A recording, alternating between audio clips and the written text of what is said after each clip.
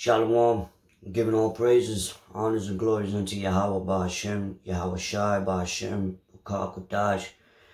Double honors to the apostles of Great Millstone and Shalom to the sincere and hopeful alike. You brothers out there that's prophesying about the times we're in and the times we're headed to. In the true name and the true doctrine for the kingdom of heaven is at hand. It's your brother Kodash Paya. And I just wanted to record uh, myself, you know, going into this dream that I had, a vision, if you will, um, this morning. And it was, it was consistent. It was a consistent dream. There was a lot going on, but, uh, it started off when I, I was in a hospital. There was a lot of people at a hospital. It was a real big hospital, like the size of a mall. And, uh, they made us wear these these like black vest looking thing um with their logo on it. And um everything was you know everything was calm at the moment until doctors just started giving shots right? Um and slowly but surely people started finding out that it, they, the, the doctors was giving people or patients uh, RFID chips and the shots, but they weren't telling them. And so when I went, it was my turn to see the to see the doctor or whatever, and um, she ended up she was about to in, insert the needle in me, and I and I happened to ask, you know, is this the chip? You know, and she said, yeah. So when she said, yeah, I basically dipped out. You know, uh, she didn't, I wasn't really tied up or anything. I just, I just, I just dipped out, man. And then that's when chaos started breaking loose. People figured it out. They started, you know, chasing them. They were chasing them. And, um, people got caught. Some people didn't get caught. You know, but everywhere I ran, there was somebody there. Like every shortcut I took, every turn I made, there was fucking somebody there. And um, I was just on the run. In the beginning, it was just me, but I was just, you know, in my head, I'm thinking, Lord, you know, please make a path for me, please. And um, I found a path and I just got up out of there. But it didn't end because when I left the hospital, right, there was no there was no money system no more. It was all strictly a bargain system. And people were if you ever seen the movie the um The Walking Dead, it was like those kind of rules. but anyway, I'm you know, running, you know, I kept ending up in different places. Right? So I'm over here trying to escape. You know, there was a window. So I'm still, I'm still in the hospital, but I found a path, but I there's a window and going down, I had to slide down because like the building was like connected to a big ass rock.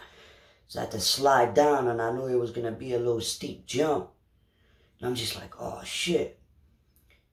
You know, and eventually I got up out of the hospital and I'm out of the hospital for sure now. And um I'm running and I end up at, at in this building, like in a building, and there was people there, you know, and they ended up trying to capture me too.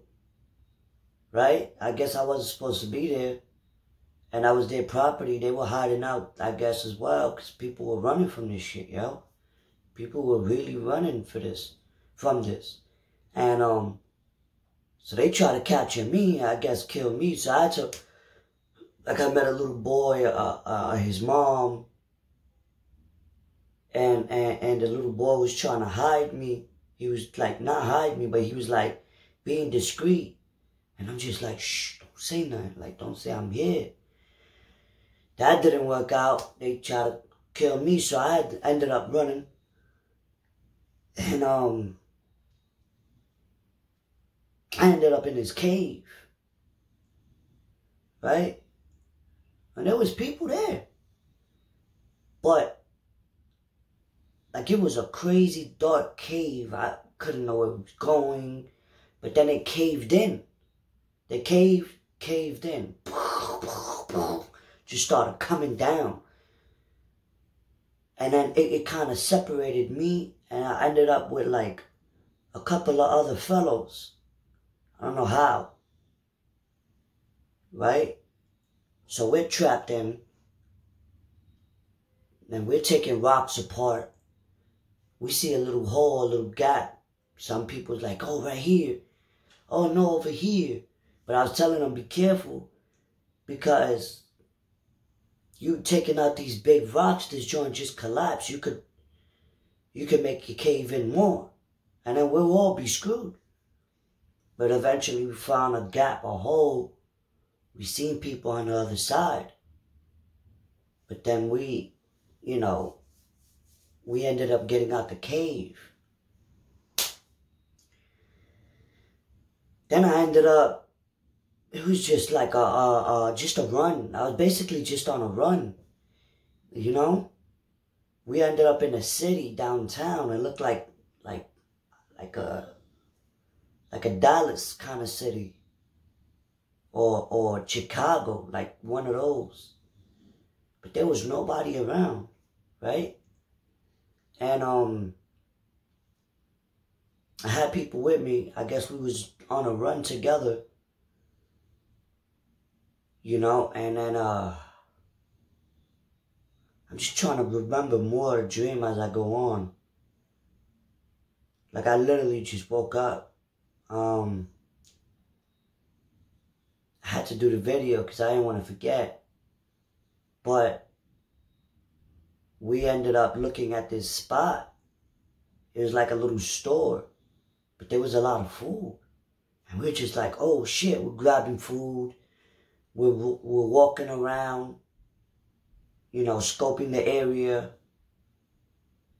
And, then, and there we go. There was people there again. There was people living there. It was another cave. Not a cave, but like kind of like tunnels, if you will. People had beds, people had rooms separated, right? But upstairs, outside, they were they they ran like a little food uh uh store. Like it was a it was pro it was like once a store right? And so they caught us. And we're like, shit, you know, they en- we ended up getting separated. And I ended up with my daughter next to me. Right? And they were to kill her. And I'm just like holding her in her hand. And I'm like, nah, nah. You know, what are you doing? Like, what this got to do with her? And, uh, she had like a big fucking log, like from a tree. You know, them shit's heavy. She was gonna dash on the head with it. And I'm just telling her, nah, no, you ain't, you ain't taking her out. She said something about a, uh, it being a mental effect, like it's, it's in your mind.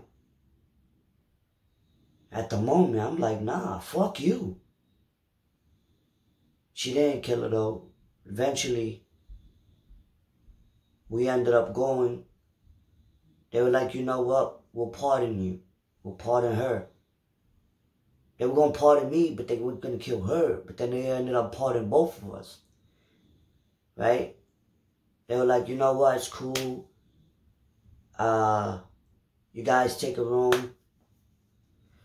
And um, the fellows that I was with, they just ended up like I don't know. I, I know they were good, but I just didn't see them afterwards because I woke up. I was in the room and it looked like a cave, man. And there was a bed, there was a table. The little one fell asleep. She was so tired from running. I looked out the window. I'm just thinking, like, all right, what's next? Where do we go? That's when I woke up. And every time I ran, I ended up in one place. People were there. Then they, they wanted to kill me. I, I ended up running from another, from that place to another place, to here, to there. Just like a pilgrim, like the scriptures say, we shall be pilgrims. You know, and um, it just felt so real, man. I mean, like, just even in the hospital when we was running, the people that were there that was so cool in the beginning just ended up chasing me. And I ended up in, in one floor they ended up in another floor in one room. You just hear them running back and forth. It was just bizarre. Because they weren't telling nobody they were giving them the chip. They were just giving it to them. And there was some thick fucking needles. Like the, the, the, the injector was husky. It, it was... That's how I figured. Like, yo, this ain't a regular, regular needle. It's not a regular shot. So in the dream, I had to ask. Oh, and, and also, what I had on in the hospital, while I was outside, that's what they was trying to kill me too, because they seen that I came from the hospital. It looked like a vest with a white skull on it, skull and bones. And I took it off. But I didn't know where to put it at, at, at the moment because when I ran, I ran in, in this in this person's apartment. And the kid was there. But he didn't want to say shit. He was like, he was helping me hide. But I tucked it in. Bang. Because I knew in the dream, I already knew. Once they saw that, they was going to try to kill me. I eventually threw it out. But then I, ended up on a roof Just like, damn, how am I gonna get out of here? You know, and the scriptures speak about how people are gonna run, flee to the mountains, flee here. You know, troops is gonna come and chase people. Doctors quarantining people. You can't leave the hospitals. Like it was just it was it just felt real and that's what's gonna happen you know that's why the scriptures say seek ye the lord while he may be found because he's the only one that's gonna give us refuge. He's the only one. Yahweh bashim yahweh shai yahweh who you, the world ignorantly call god his real name in the hebrew is he is or he exists. Bashim means in the name. Yahweh Shai, who the world calls Jesus Christ, his real name in the Hebrew is he's the deliverer. Because he's going to deliver his men, his elect, his women, children, helpers, the elect, one third, to escape out of this, this judgment, this hell, this hour of temptation, Jacob's trouble that we're about to enter. The pieces is coming together. This is all prophecy. Got to get worse before it get better. But this dream was so consistent and felt so long And um, I woke up, but I was in this cave in this room with a bed. With I didn't really have food. My little daughter, she was on the bed. She fell asleep. She looked dirty. And I was all a mess. Just on a run, man. People was with me, and people escaped. People wanted to kill me. People was chasing me.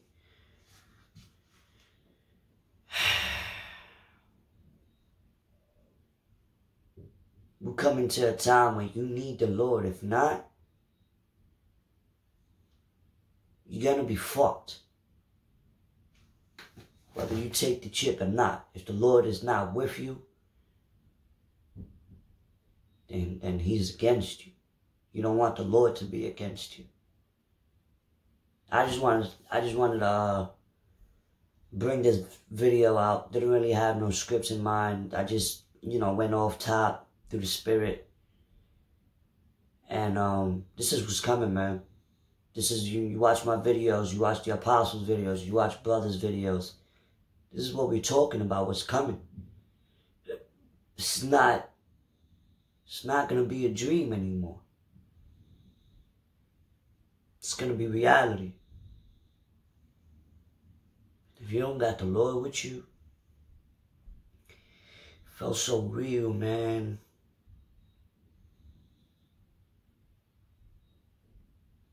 This should really humble you. You know, those got ears to hear and eyes to see. These people don't understand what's coming to them. That's why the Lord set up men right now to prophesy about these, these things coming, to warn you before it happens. Prophesying, that's what that means. Anyway, with that, man, I'm just still trying to remember more as I continue talking. Um, I pretty much said it all. And, um, just know, man, the people, people that you think is cool, when it's a life or death situation, those people you think is cool with you, they're gonna be the ones chasing you to kill you. So they could fucking eat. Or they could rat you out thinking that the guards is but those people was on a run too, so I don't think they're gonna is is is it's gonna be survival of the fittest, man. So with that, I'm gonna give all praises, honors, and glories unto Yahweh Bashim, Yahweh Shah Bashim Makakadash. Double honors to the apostles and elders of Great Millstone. Shalom to you sincere brothers out there. It's prophesied about the times we're in and the times we're headed to. In the true name and the true doctrine for the kingdom of heaven is at hand. The Lord is coming back. Shalom.